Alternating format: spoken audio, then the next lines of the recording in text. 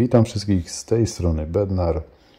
Akwarium 1127 litrów zostało zalane, odpalone. Czemu tak szybko, to już Wam mówię. Woda jest 700 litrów. Miałem przełożoną do dwóch 300 i w jednej pływały Altume Atabapo, więc miałem również zachowaną biologię, więc tutaj dolałem w granicach około 500 litrów wody RO i postanowiłem dzisiaj po dwóch tygodniach przełożyć ryby. Także tutaj zaoszczędziłem troszeczkę czasu. No i przy okazji uwolniłem sobie zbiorniki w hodowli na inne ryby.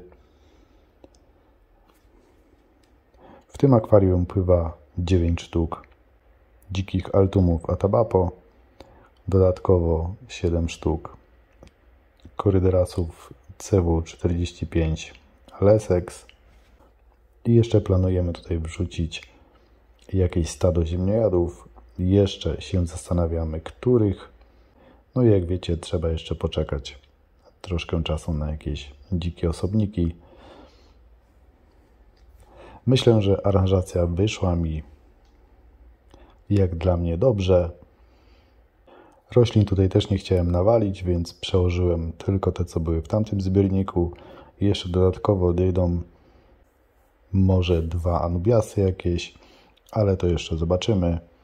Także jak widzicie, altumy tutaj w tym zbiorniku naprawdę już mają dużo miejsca.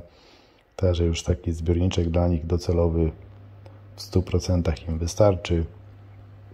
Będą musiały się gdzieś tam podzielić tym zbiornikiem z ziemniojadami. W tym akwarium nie dawałem torfu pod piasek, także jest tutaj tylko cieniutka warstwa piasku, no i otoczaki, jakieś tam kamyczki, korzenie i tak dalej, to co widzicie. Światło jest bardzo delikatne, nawet widzę tutaj na filmiku, że jeszcze mi kamera rozjaśniła troszeczkę akwarium, bo jest na żywo naprawdę fajny, fajny klimacik. Także co Wam będę mówił? Widzicie, jak to wszystko wygląda.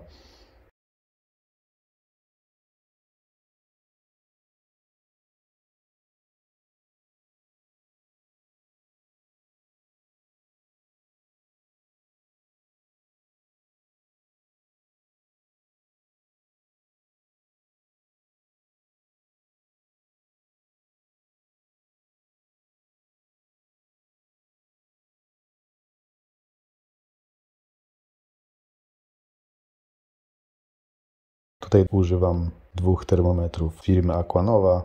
Pokazuje 28,1.